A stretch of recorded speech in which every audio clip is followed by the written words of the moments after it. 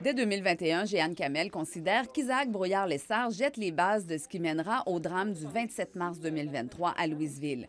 Après avoir attaqué sauvagement le concierge de son immeuble en décembre 2021, il utilise les services de l'équipe de suivi intensif dans le milieu, le CIM, pour l'aider à se trouver un logement.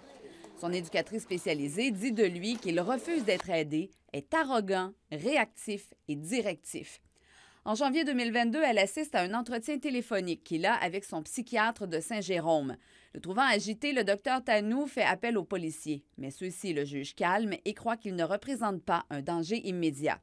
Exactement le même scénario que trois jours avant le drame, quand les policiers se rendent chez Isaac Brouillard-Lessard, alerté par sa famille.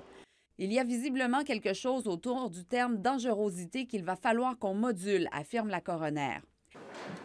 L'éducatrice spécialisée a aussi relaté son passage devant la commission d'examen des troubles mentaux.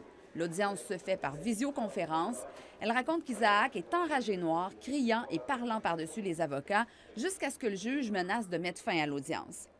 Les suivis de l'équipe SIM se poursuivent ensuite jusqu'en décembre 2022, et ça malgré son comportement réactif.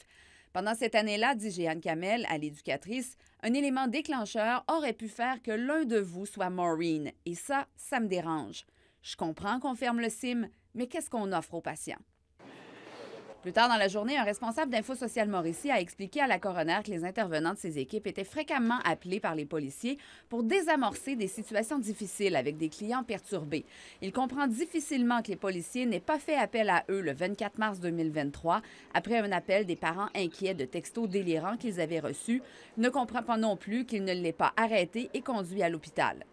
La semaine prochaine, le ministère de la Sécurité publique, la Commission d'examen des troubles mentaux et le directeur des poursuites criminelles et pénales seront au nombre des témoins. Patricia Ely, TVA Nouvelle, Trois-Rivières.